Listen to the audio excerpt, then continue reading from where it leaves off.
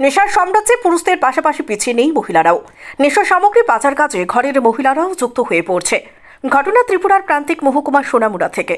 শুধু ঘরে ঘরে হেরোইনের ব্রাউন সুগার ইয়াপা ইঞ্জেকশনের মতো নেশা সেবনকারী জন্ম হচ্ছে না। সঙ্গে নেশা সামগ্রী পাচার কাজে যুক্ত হয়ে পড়ছে ঘরের মহিলারাও। মহিলারা শরীরের বিভিন্ন অংশে লুকিয়ে প্রান্ত থেকে প্রান্তে দেদার পাচার করছে কোটি কোটি টাকার নেশা সামগ্রী। এবার এমনই ঘটনা ফের প্রকাশ এলো সোমবার প্রায় মধ্যরাতে। একটি যাত্রীবাহী ম্যাক্স গাড়িতে করে তিন নেশা সামগ্রী পাচারকারী মহিলা সোনামুড়ার দুর্গাপুরের ফুলজার বেগম, ধনপুর তারাপুকুর এলাকার নাহিদা আক্তার, দুর্লভ নারায়ণের মমতা খাতুন আগরতলার দিক থেকে সোনামুড়ার দিকে যাচ্ছিল। মেলাঘোর থানার সামনে থাকা নাকা পয়েন্টে পুলিশ দেখে নাকার কিছুটা আগে গাড়ি থেকে নেমে পড়ে। এ খবরের ভিত্তিতে পুলিশ তাদের পিছু ধাওয়া করে তাদেরকে আটক করতে সক্ষম হয়। মেলাঘোর থানার ওসি দেবাশিস সাহা জানিয়েছেন, তাদের পরনের বোরখায় লুকোনো অবস্থায় চৌত্রিশটি সাবানের বাক্সে থাকা প্রায় চারশো গ্রাম ব্রাউন সুগার উদ্ধার করে পুলিশ। যার আনুমানিক বাজার মূল্য পনেরো লক্ষ টাকা। Bureau report planet Tripura news.